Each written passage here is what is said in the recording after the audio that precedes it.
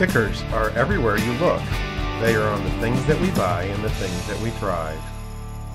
Flexographic printing is one of the most popular ways to make stickers, like this two-color Quick Sprout sticker. First we prepare the artwork and create color separations for each color. This sticker has a green impression and a grayish brown impression. After the artwork is ready to print, we use computers to send the artwork to a digital plate making machine that makes this flexible photopolymer printing plate. The flexible nature of the plate is why this printing method is called flexographic. This large flexible printing plate is comprised of many different sticker jobs, so the quick sprout sticker is cut out individually. Once the plates are separated from the large sheet, they are put into a job jacket and sent to the printing press.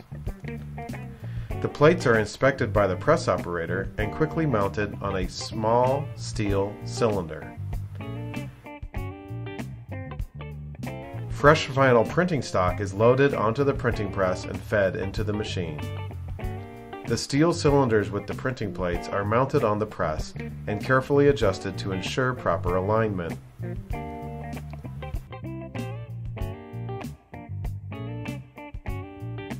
Most flexographic presses run a continuous sheet of printing stock.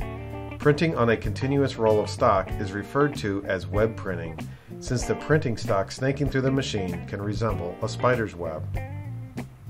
This machine prints the image on the sticker first. Then the stock is cut to the desired size and the extra waste is removed to be recycled. The result is a very large roll of stickers with the stickers lined up two to a row, which is then mounted on this machine where the large roll is split in two and wound onto small rolls for easy dispensing.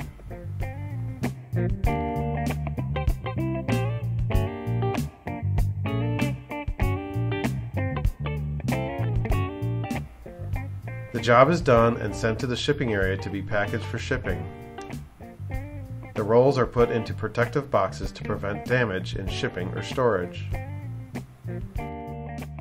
A shipping box is prepared and the job is sent via conveyor belt to be labeled for shipment.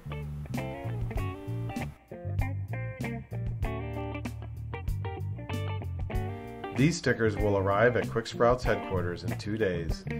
And that is how Sticker Giant makes Quick Sprout stickers on a flexographic printing press.